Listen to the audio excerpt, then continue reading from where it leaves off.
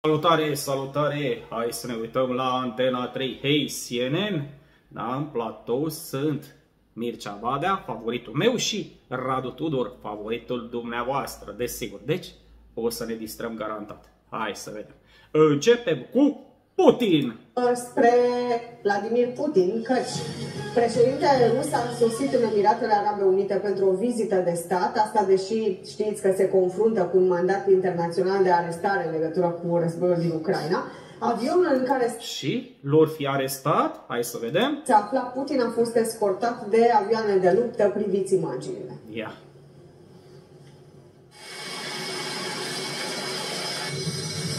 Aoleu, ce frumoase sunt! Uitați-vă la ele! Wow! Și mai observăm ceva, uh, nu tușesc dacă este ceața afară, dacă este vreme rea. Hmm, interesant.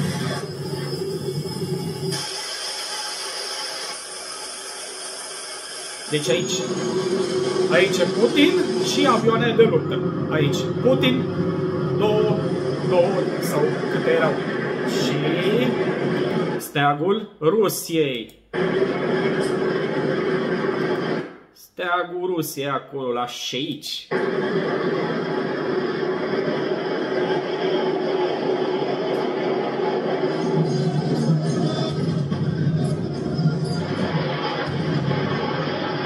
Vedeți? Încă o tură.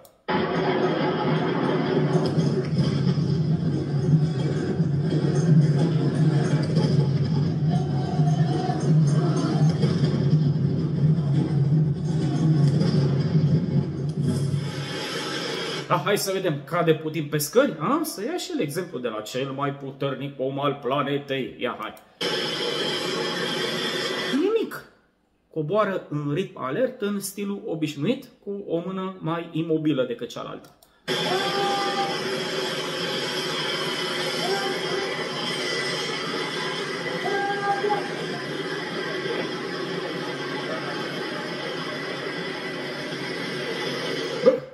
Avionul e ruginit? Ia să-l inspectăm. Eu văd aici un punct de rugină, mă. E ruginit, clar e ruginit.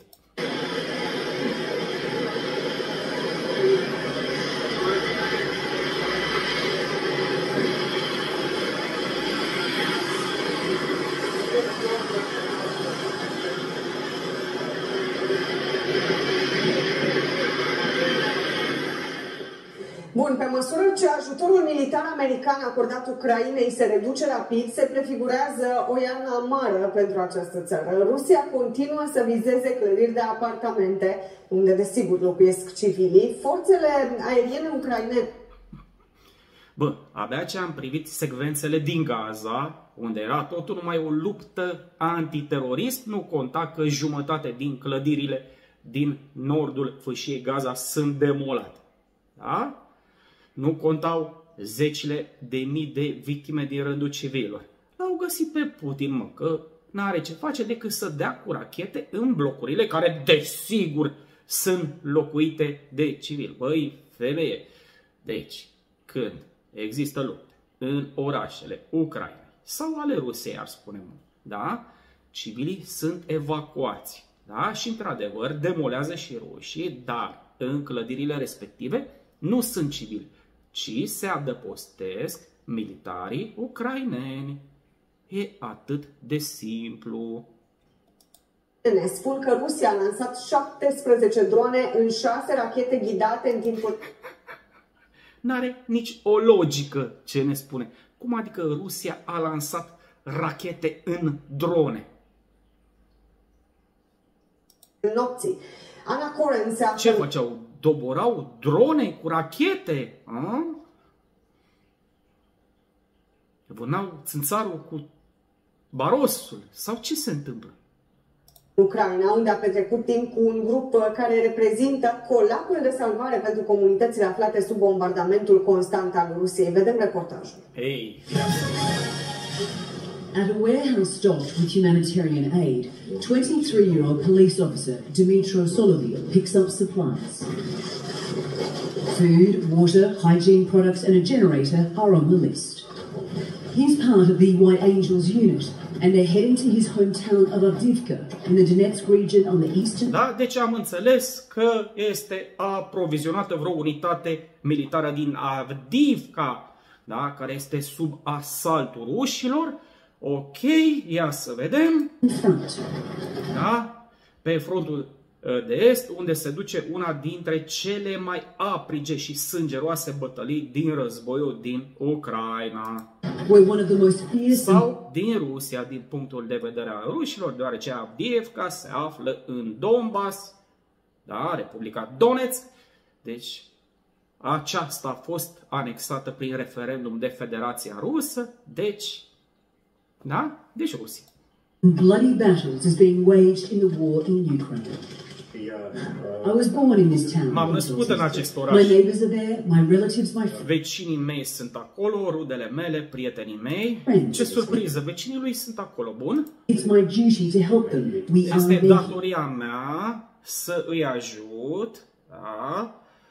Să-i eliberez, deși ei nu vor să fie eliberați, deoarece au votat la referendum că vor să se alipească la Federația Rusă.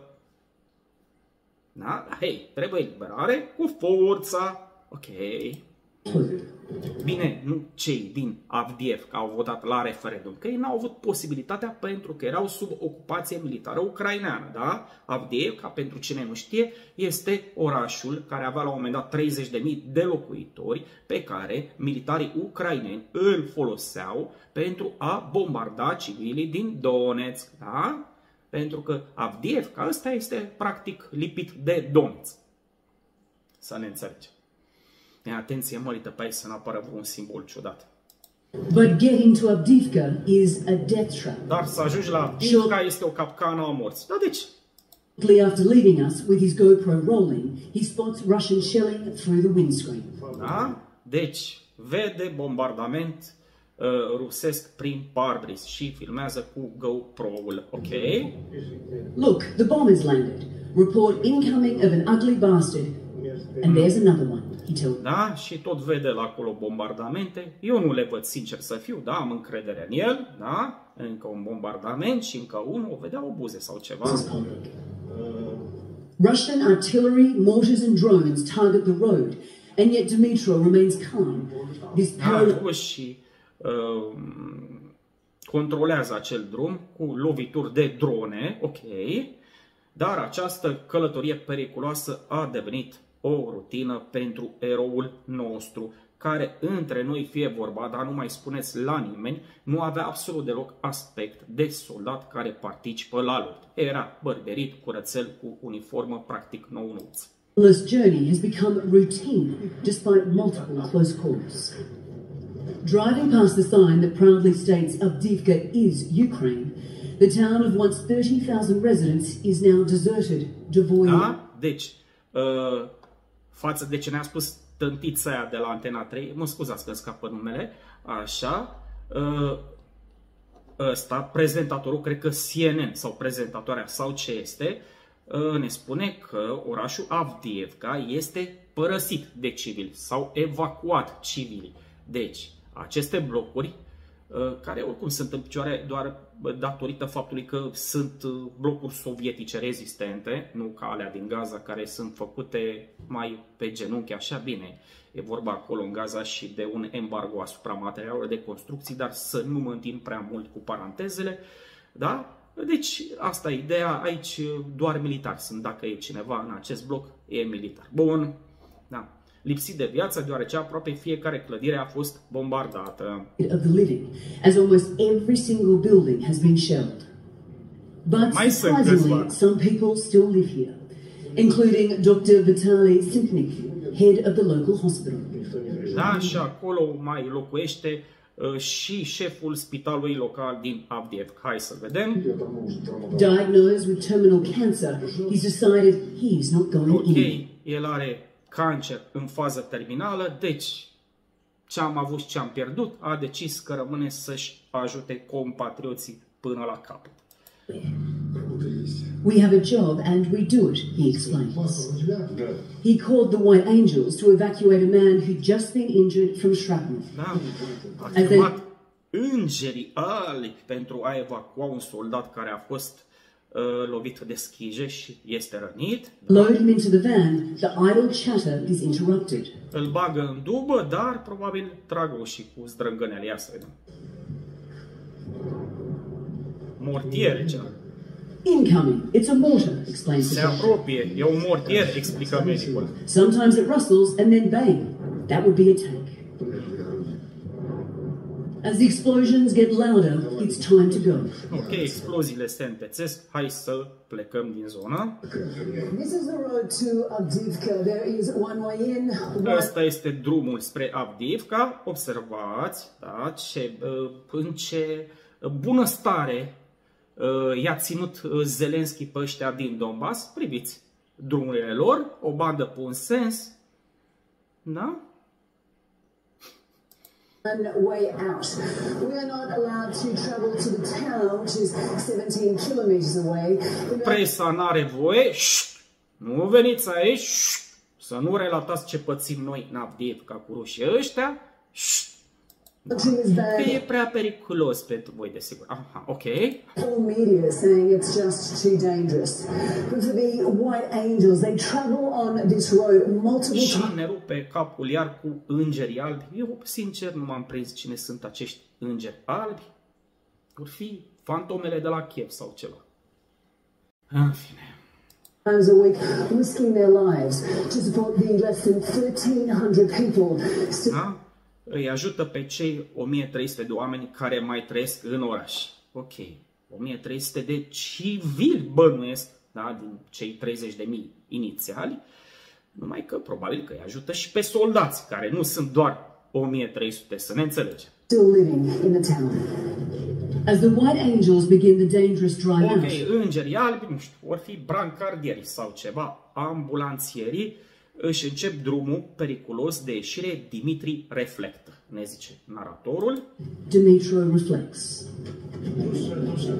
It's very sad what's happening to my town, E but one foarte trist ce se întâmplă cu orașul meu, dar într-o zi vom reconstrui Avdivka. Da, tătuțul îl vei reconstrui, îți garantez eu, da?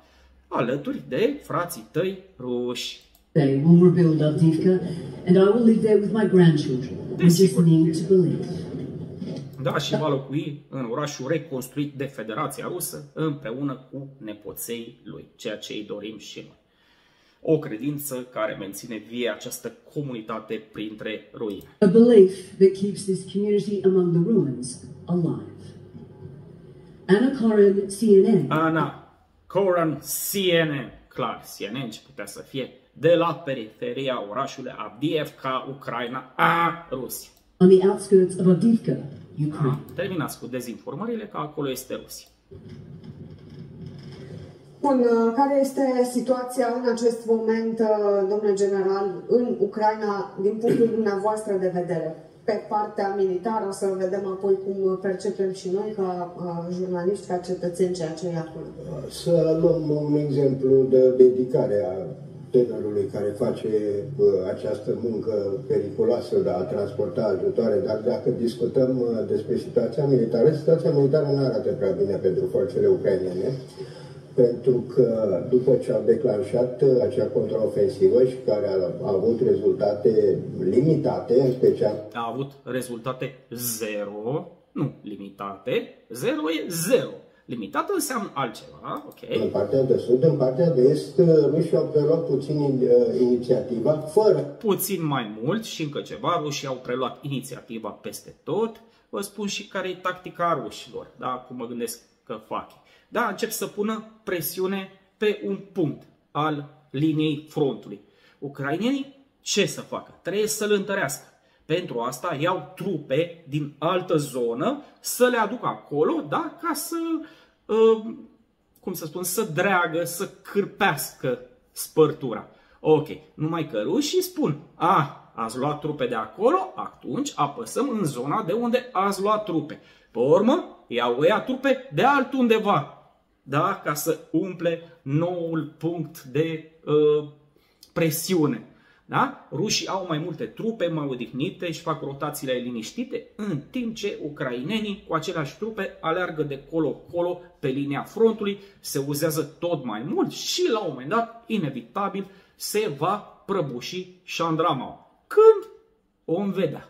Deocamdată încă se joacă, dar rezultatul acestui, între ghilimele, joc, pentru că nu este chiar joc, din contră, este uh, un conflict militar de o amploare uh, nemai văzută de la al doilea război mondial încoace.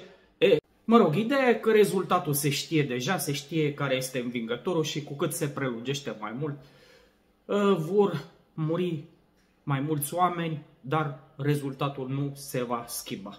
Asta e tot ca la rândul lor să aibă succese uh, deosebite, iar acest punct arbitr, acest oraș, uh, devine deja cel al doilea Bahmut, pentru că de mai bine de o lună rușii încerc, încearcă să-l, să cucerească, fiind un, fiind un punct obligatoriu de trecere spre extinderea cuceririi Donetskului, pentru mhm. că dacă Lugansk a reușit aproape în totalitate să aibă sub control, Donetsk este abia cam 50-60 sub controlul. A zice, pe nu știu, 75%, dar sunt doar cifre.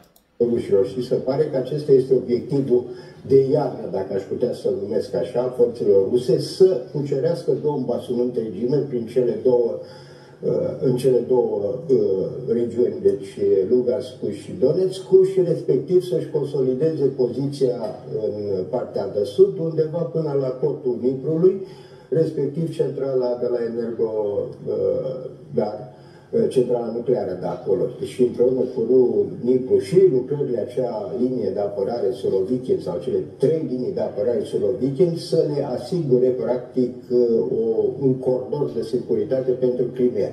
Cred că acestea vor fi, vor fi acțiunile și obiectivele rușilor pentru toată durata, pentru durata iernii și în paralel vor continua lovirea obiectivelor uh, militare și civile ucrainiene, în special infrastructura critică și cea energetică cu prioritate, așa cum au făcut-o și în, și în iarna trecută. De partea cealaltă, uh, nu cred că ucrainienii vor avea capacitatea să mai avanseze în această perioadă. Pe de o parte, datorită în această perioadă sau oricând cândva în viitor. Nu, nu vor mai avansa, de acum vor avea doar uh, o luptă de apărare, de rezistență. Datorită condițiilor climatice, pe de altă parte, datorită resurselor care devin limitate. Observăm că și în Statele Unite și în alte stări se cam mârie, ca să nu spun altfel. Mm vis-a-vis -vis de acordarea acestui ajutor. Ori să lupți într-un raport de forțe defavorabil, cum este situația ucrainienilor și fără să ai mijloacele necesare, armament, muniții, nu mai vorbesc de combustibile, alimente, va fi foarte dificil pentru ei. Singura șansă ar fi dacă ar reuși uh, într-un fel sau altul să dezvolte acele mini capete de pod care au fost realizate în regiunea de sud, în zona Hersonului, pe malul stâng al Niprului, dar acestea sunt deocamdată de nivel, nici măcar de nivel tactic, nu putem spune, și se pare că sunt operate în special cu forțe pentru operații speciale, care sunt capabile să cucerească și să apere aceste capete de pol, dar insuficiente ca să le dezvolte. E cam ce, discu ce discutam uh, Mircea și ieri, faptul Mircea. că uh, e tensiunea tot mai mare în Ucraina, uh, inclusiv la nivelul conducerii, pentru că banii sunt tot mai puțini, pentru că atenția nu mai este aceeași, adică nu este doar concentrată uh, spre Ucraina, mai avem și situația din uh, Israel și uh, Fâșia Gaza, nu au niște lucruri, niște uh, câștiguri palpabile în teren și atunci uh, e un mare semn de întrebare vis de ceea ce se va întâmpla Atenție! mai departe. Mirci! N-aș vrea să... Tot, în legătură cu ceva trebuie să comentez totuși eu în emisiunea asta și prefer să comentez despre situația din Ucraina. Yeah. Eu nu prea mai am multe semne de întrebare. Nici eu. Nu, nu, nu, lucrurile mi se par destul de clare. Și sunt clar foarte proaste. Clar. Uh, și sunt proaste. Mai, nu. Sunt proaste pentru Ucraina, în caz că nu este clar ce spune Mircea Valea. Fur singur căciula, mai ales că nici n-am. Deci, în opinia mea, eu așa văd lucrurile. Uh, sunt pentru mine relativ clare. Uh, Ucraina este pe punctul prăpastiei, pe, pe marginea prăpastiei. Uh, s-a întâmplat și ieri ceva, în fiecare zi se întâmplă niște neîntâmplate până acum. Uh-huh. Uh, ieri, Niște nefăcute.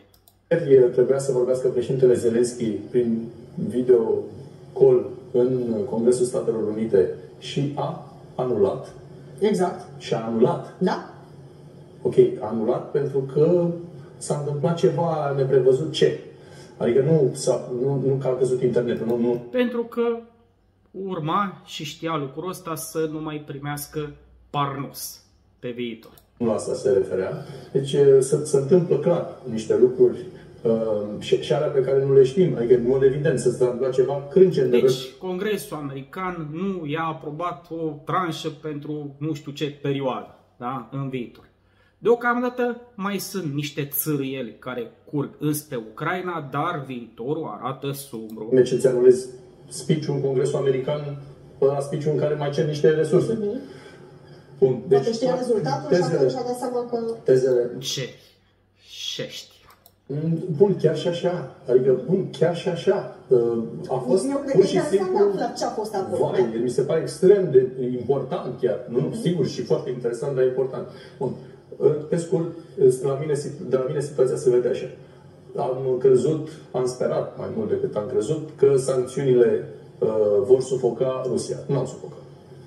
Că rămân, n-au sufocat. Că rămân uh, fără bombe, că rămân fără muniție, că rămân, n-au rămas că, nu știu, că, că moare Putin de cancer, că moare Putin căzând pe scări, că moare Putin că se întâmplă revoluția, că moare Putin omorând de oligarh. Nu s-a întâmplat. Deci nimic din lucrurile pe care le-am așteptat să se întâmple, nu s-au întâmplat. Și situația ucrainienilor în acest moment este, nu mai au în primul rând oameni, nu mai au în primul rând oameni, pentru că oamenii mor, așa e la război. Deci asta, Uh, oameni, teoretic, ar mai fi. Dar acum trebuie să ne gândim și la uh, chestia asta, că nu poate o țară toată să se lupte. Mai trebuie să muncească cineva pe acolo. Eu înțeleg că vin ajutoare de la americani, de la europeni, financiare, da? care plătesc pe acolo salarii, dar hei, nu merge toată lumea la luptă, n-are cum. Bun. asta este ceva îngrozitor, nu mai au oameni. Că nu mai au arme, că nu mai au muniție, că asta nu mai au nici muniția doare foarte mult într-un așa zis război de tranșee, îți trebuie muniție. N-ai muniție, mai bine împachetești și te duci acasă.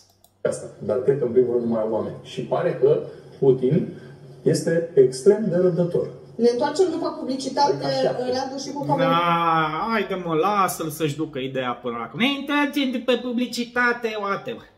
Dragilor, asta a fost. Uh, Nu uitați de like, nu uitați să dați și voi un share eventual. Vă aștept la comentarii și mulțumiri speciale celor care mă susțin pe Patreon și din postura de membri ai canalului Noaptea Minții.